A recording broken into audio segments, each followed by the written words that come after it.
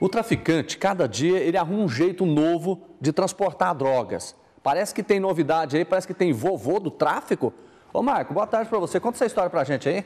Boa tarde, Jodevar, Mariana, boa tarde para você aí de casa. Antigamente a gente ouvia falar muito que os traficantes estavam aliciando as crianças para serem aviãozinhos, mas agora a moda mudou. Eles estão atrás de pessoas já de idade.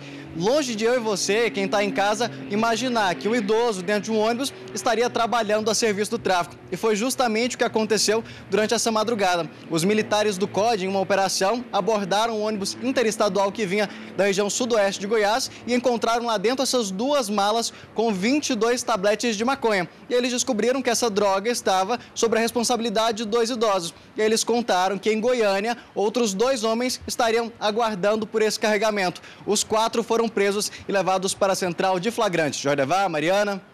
Tá certo, obrigado pela sua participação. Daqui a pouco você volta, eu tenho certeza que você tem mais novidades. Gente, você está imaginando agora? Quase 80 anos de idade, enche a mala de maconha e começa a fazer uma viagem, né?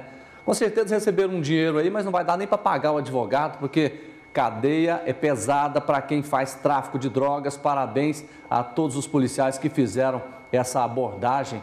Que safadeza, né?